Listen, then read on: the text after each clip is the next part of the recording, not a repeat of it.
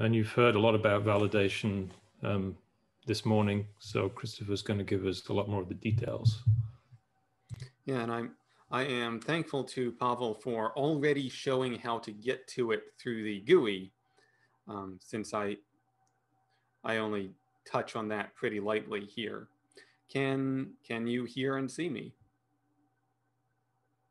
All looks good. Excellent. All right. So yes, I am Christopher Christopher Williams here from the Richardson Lab to talk about model validation and going from diagnosis of problems to healing of problems in models. And the diagnosis looks something like this. Molprobity validation provides a great many, uh, provides feedback on a great many different sorts of modeling errors uh, and provides, and if you're looking in our King viewer, provides this, this suite of visual feedbacks. Some of these are also available through Coot, Uh, and if you use Isolde, Isolde has uh, some similar and some similar and related markup that communicates these same things in a way that's appropriate to that software.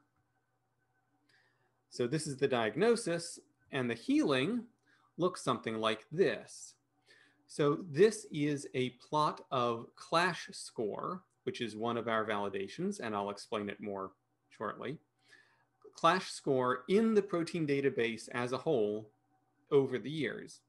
And you can see that when Molprobity introduced Clash Score to the community, and then when Clash Score became available through the Phenix GUI, there were dramatic improvements in the overall quality of structures deposited and released from the PDB. So you really can make a difference by paying attention to validation. You really can make a difference, not just to your own structure, but to the but to the community as a whole and to the database as a whole. So as, as Pavel has already shown, you can get to the Molprobity validation plus other validation through the Phenix GUI uh, in the validation tab. If you want more on if you want more on this and its very useful integration with Coot, there's a tutorial in the Phenix tutorials on this. There's also a YouTube tutorial that provides some provides guidance here. You can also get to this validation through the Richardson Labs Molprobity web server uh, shown here. And if you want some some additional quick references for how to interpret Molprobity results, I've written some some visual guides that are linked on the Molprobity main page. Uh, and those guides also contain links to relevant publications. If you go and run a structure through the Mol through Molprobity, you'll get a validation summary that looks something like this. And this is the sort of whole structure summary. Uh, Pavel has already shown where what that looks like going through the Phenix GUI. And it's essentially all of the same information, just presented in two different places. For this talk, I'm going to be referring to the Molprobity, the Molprobity webpage summary you see here, just because I think it's a little bit more visually stimulating and we're, we're remote, we're on slides, we need all the visual stimulus we can get. So we provide a great many different validations. I'm going to just walk through them and give you a feel for what each of them, where each of them comes from and what each of them means. Starting with clash score. And if the Richardson lab has a signature validation, it's this one. And our starting point for this is hydrogen atoms. as, as Pavel noted, if the hydrogen atoms constitute basically half of the atoms in a, in a macromolecule. And so Phenix and Molprobity have tools to add hydrogens to mo- add hydrogens to structures so that you get all of those atoms. And it's important because, again, the hydrogens are the atoms that make most of the interatomic contacts and are involved in many of the chemi important chemical interactions. Then, once we have all of the all of the hydrogens, we roll a small spherical probe over the surface of the atoms. Here, treating atoms as hard spheres, which is a which is a reasonable approximation for these purposes. And where, where the atomic spheres get close to each other or overlap, we, we mark those locations. So where, where the spheres get close to each other but do not quite touch, that is a van der Waals contact. Where spheres overlap between appropriate donor-acceptor pairs, that is a hydrogen bond.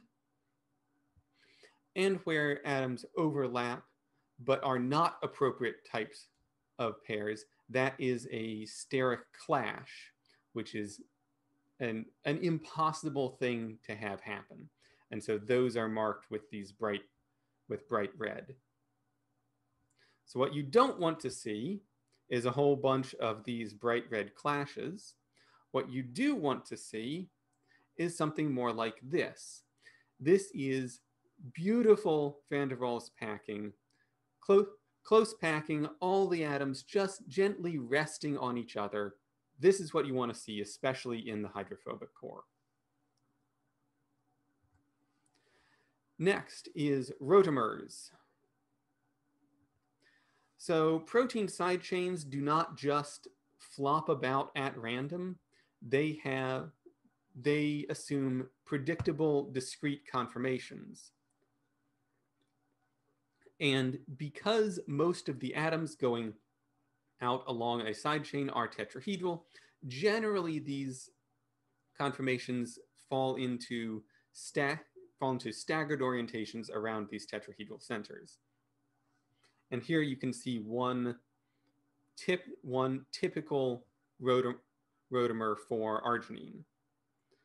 Of course, especially for a long and complex sidechain like arginine, it's not as simple as there just being one or two correct answers. There's a whole galaxy of real rotamers. So here you can see one slice of the conformations that the valid rotameric conformations that arginine can assume. And each of these clusters is, each of these clusters is a peak around which uh, a family, uh, a close family of conformations lives. And so when you have a rotamer outlier, what when you have a rotamer outlier, that is to say something that falls outside any of these known peaks, what you want to do is move it into one of these favorable local minima so that refinement can sort out the details from there. Next is Ramachandran. And if there is an absolute classic uh, protein structure validation, it is Ramachandran analysis. This dates back a long time. Uh, it is a validation of the protein backbone based on the based on the phi and psi torsions. And these days we break we can break Ramachandran we can break residues up into six distinct categories for Ramachandran analysis. Glycine, isoleucine and valine together because those two have branched C beta atoms. Two kinds of proline, both cis and trans. Pre-proline, that is residues immediately preceding a proline, which really do have a distinctive distribution, and everything else as a general case. And so we've made contours of expected Ramachandran behavior for each of these cases. And in these contours, there is an inner bound that represents the most favored conformations and an outer and an outer bound that represents less favored but still allowed conformations. And residues that fall outside that that allowed boundary are considered to be outliers. Again, as Pavel mentioned, Ramachandran, the Ramachandran plot is subject, is vulnerable to a certain amount of overfitting, partly because it's been around for so long. Uh, this is a bigger problem in cryo-EM and lower resolution crystallography. And these are, and what I show here are unrealistic Ramachandran distributions, but they appear good from a strict, from a strictly from a strictly statistical standpoint. These appear to be good Ramachandran evaluations. The one on the left, especially, almost all of the residues fall within the favored bounds, and there are no outliers. This looks much better than it really is. And so, and so to help deal with this, Oleg has introduced this new Ramachandran z-score z-score validation. This is a validation not of individual residues, but a validation of the Ramachandran distribution as a whole. And when the and the further from zero the z-score gets, the more improbable the distribution is. And this, this too is reported in both Phenix and Molprobity. Next, the Molprobity score. This is a synthetic score that serves as a, a quick approximation of the overall quality of a structure, overall model quality of a structure.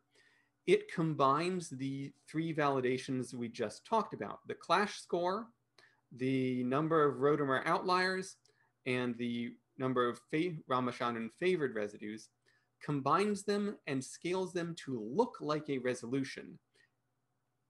And that is, that is the Molprobity score. And this is a lot like the polygon assessment in that it gives you a sense of how your structure compares to an average structure of the same resolution. If your Molprobity score is better, is about the same as your resolution, you are about average. If your Molprobity score is better than your resolution, you're doing, you're doing well. If your Molprobity score is worse than your resolution, you probably still have some work to do. Next, C beta deviations.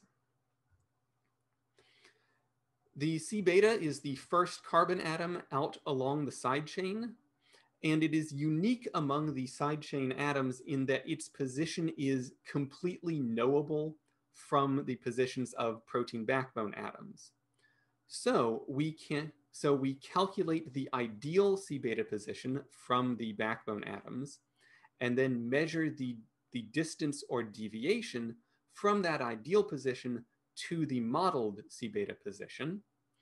And in the markup, we draw a, we draw a purple sphere with a radius of that distance. A significant, a significant deviation between the ideal position and the modeled one is an indication of some kind of modeling problem. And while the C beta deviation looks like it is a sidechain validation, it is often a, an indicator of some sort of backbone strain, either at that residue, either at that residue location or somewhere nearby that has forced the local backbone to squish or expand in an unfavorable way. Covalent, covalent geometry. There's not a whole bunch to say about covalent geometry, really. We have expectations of the, the size of uh, covalent bond lengths and covalent bond angles, and we check and we check against those expe expectations and mark mark uh, covalent bonds that fall outside the expectations.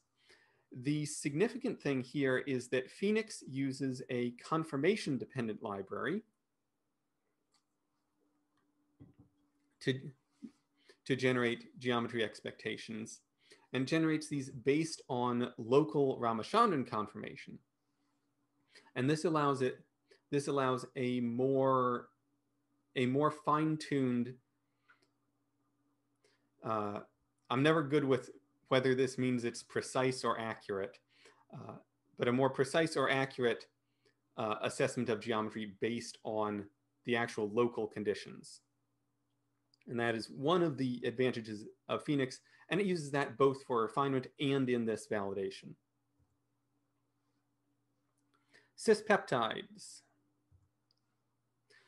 The peptide bond that joins adjacent amino acids has partial double bond character because of the nearby carbonyl, carbonyl oxygen double bond. That means that it is planar and it and therefore assumes either a trans or a cis conformation. Almost all the time, this is a trans bond. However, occasionally it's cis. Most, most cis residues are proline. About 5% of all prolines, uh, the peptide bond preceding a proline residue, about 5% of all of those are cis. And so that is a cis proline. Non-proline cis are vanishing, are extremely rare, and residues like the one on the far right that are twisted that are twisted more than 30 degrees out of planar are vanishingly rare and probably just all wrong. The really interesting things are these non-proline cis residues. Here, here, here we see a cis-glutamine, and, th and you can tell from this electron density that this is real, even though only a fraction of a percentage of non-proline residues ever assume this conformation. That makes them interesting. If you see one of these and it's real, you can bet that there's some reason for it some, some sort of functional or structural importance. So you don't want to, you don't want to model these where they don't exist, but where they do, you want to make sure you preserve them.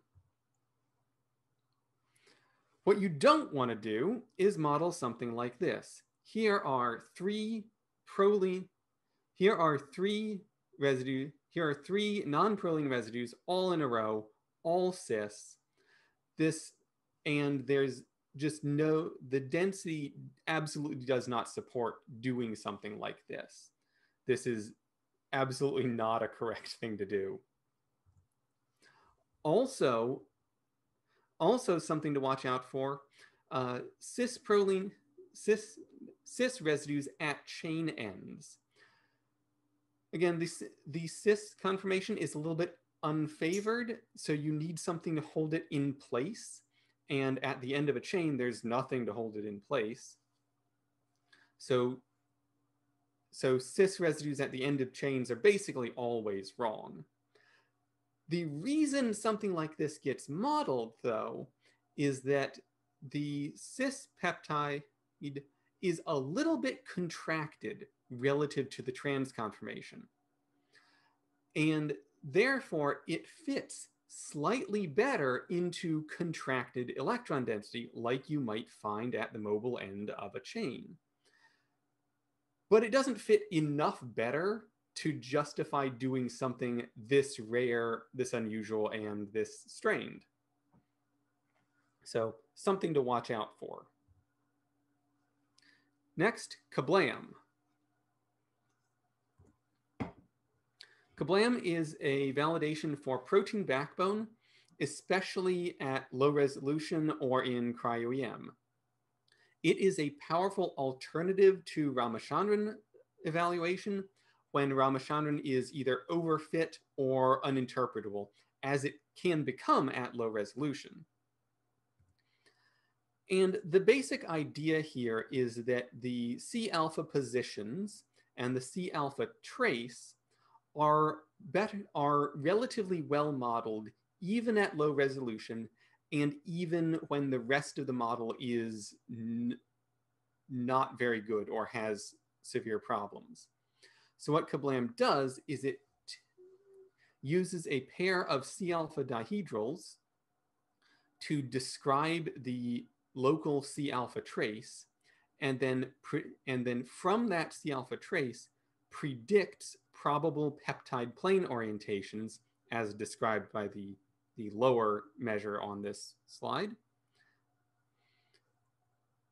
And from, and from that, it can both identify outliers that don't match those predictions and suggest likely confirmations that would be that would fix the problem.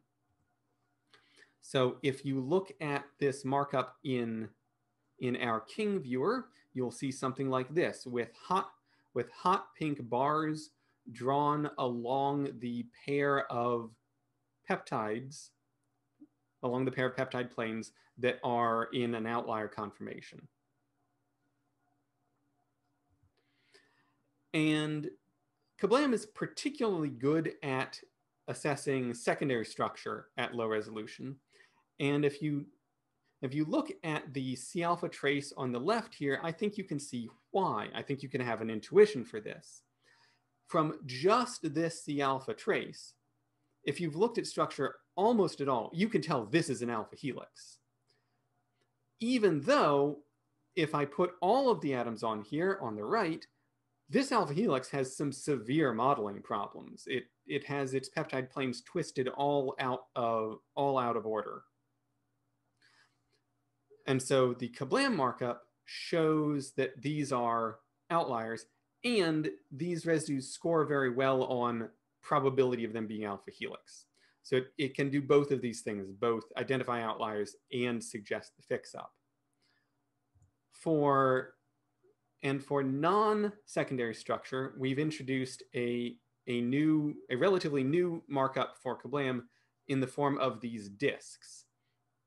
So this disk is drawn around samples, peptide plane orientations, scores each of them for CaBLAM, and then the disk is colored based on how well putting the peptide plane in that position would, would score for CaBLAM.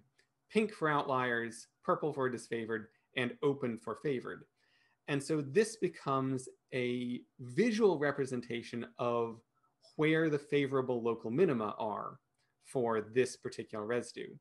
So if you could move the peptide plane, move that carbonyl oxygen over into this open area, you would probably break out of an unfavorable, uh, you'd probably break out of an unfavorable minimum into a more favorable one, and then refinement would hopefully be able to sort out the details. Next, UnDowser. And UnDowser is the only thing on that is ex currently exclusive to the Molprobity website.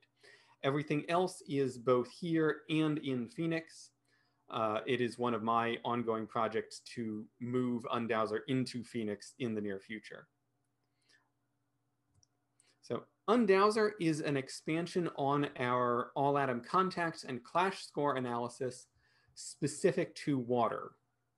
So UnDowser looks at the looks at the waters in a structure, specifically the waters that are clashing with something and tries to categor categorize the reason for those clashes and the way you might fix them.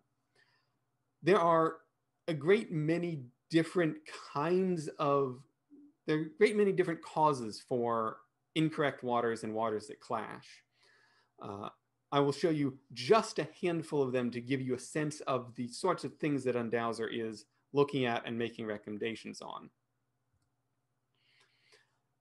For example, here is a water that should actually be an ion. And we can tell that it should be an ion because this water is clashing with multiple atoms of like polarity or like charge. And that's, that's a strong sign that, that, that a water should be an ion instead. And that this, this water has a very strong density peak associated with it. That is also important to identifying an, a probable ion. On, on, the, on very much the other hand, here's a water that has no density and clashes with a bunch of different types of atoms, both, pol both polar and especially nonpolar. So an ion probably wouldn't be clashing with nonpolars and probably would have density. This probably just shouldn't be here at all. It's probably left, probably got trapped here or was left over from something else. Just delete this water. And a third interesting case, here are a pair of waters clashing with a nonpolar and maybe clashing with each other. And they do have density. And what's happened here is these waters are occupying the, the location of an alternate conformation of this aspartate side chain. So the, so the fix here is to build an alternate conformation and delete these waters.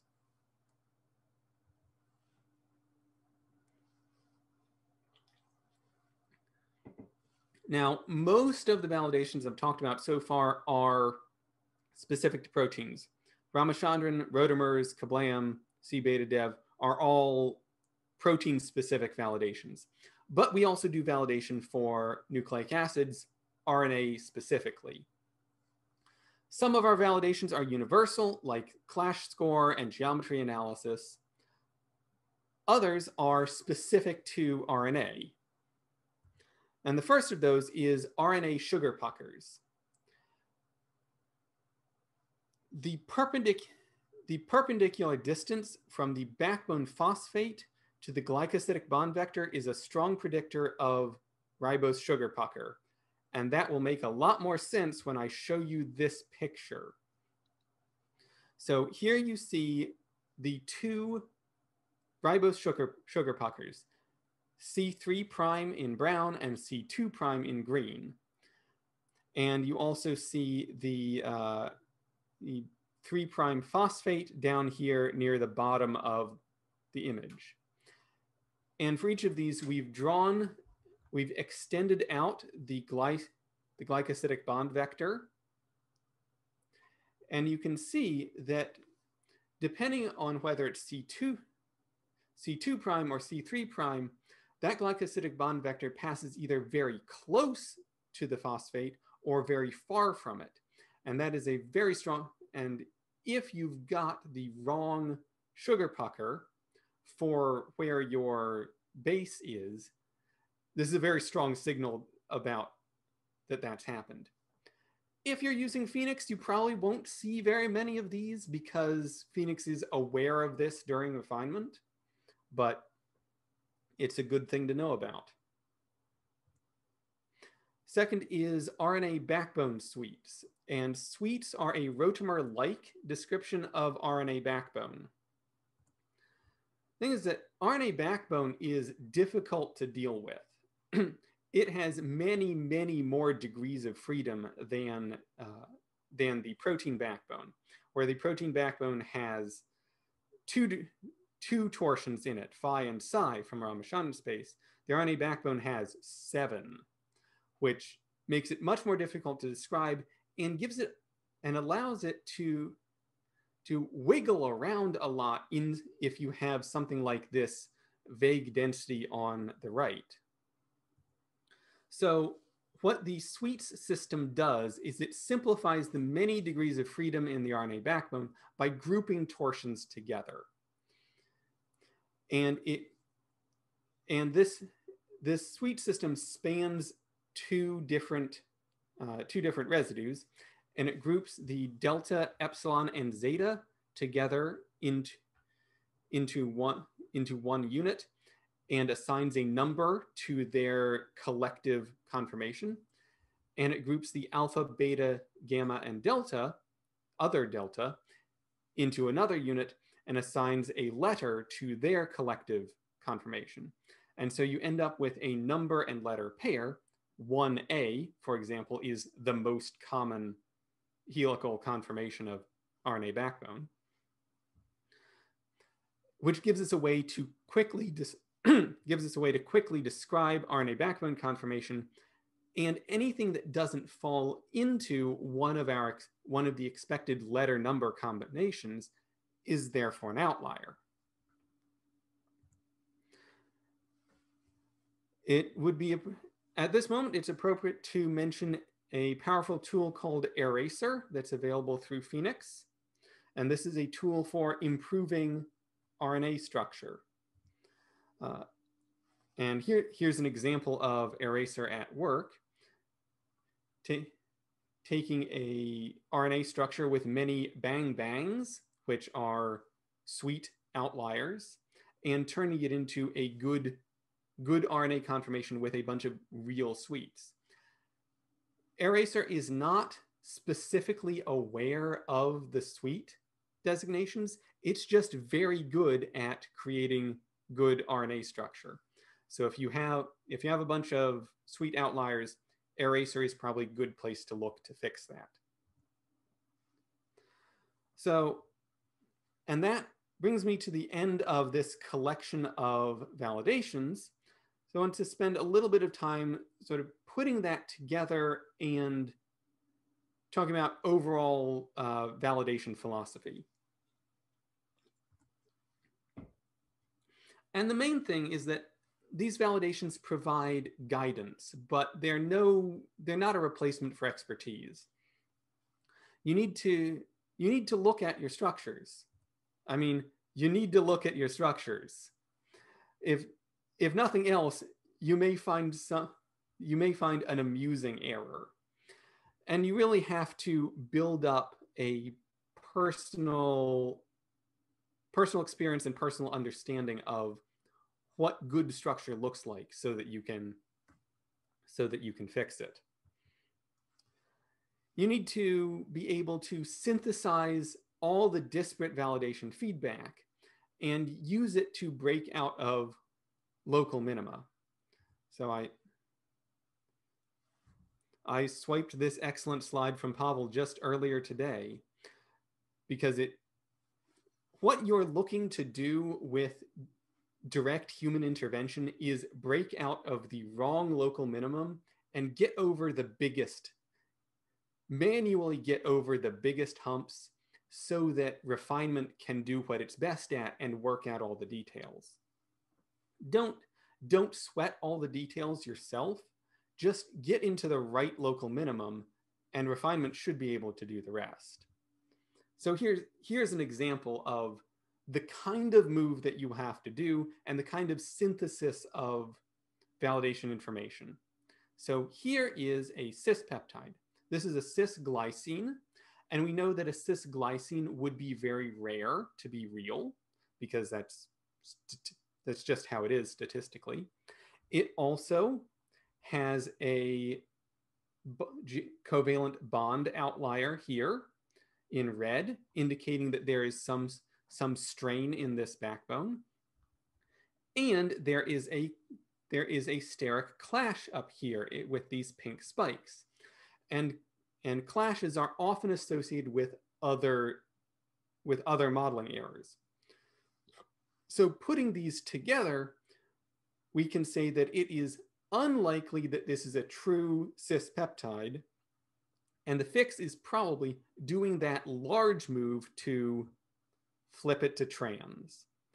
And when we do that, when we refit it as trans, we get rid of the covalent bond angle outlier. And instead of a clash, we get a nice favorable hydrogen bond. And that's, that's the kind of thing that you really love to see not just not just getting rid of outliers, but actually introducing favorable interactions like hydrogen bonding. Of course, outliers are not always wrong. Sometimes they are interesting. They just need justification. And I and I return to this beautiful justification of a cisglutamine from earlier. This is and this is justification by electron density. The, the experimental data tells you this ought to be here. But you can also justify rare and outlier conformations with things like hydrogen bonding to hold them to hold it in place, or chemical knowledge from outside the structure, or homology knowledge from outside the structure. You can know from chemistry or homology that a rare conformation is supposed to be part of your structure. And that is also a kind of justification.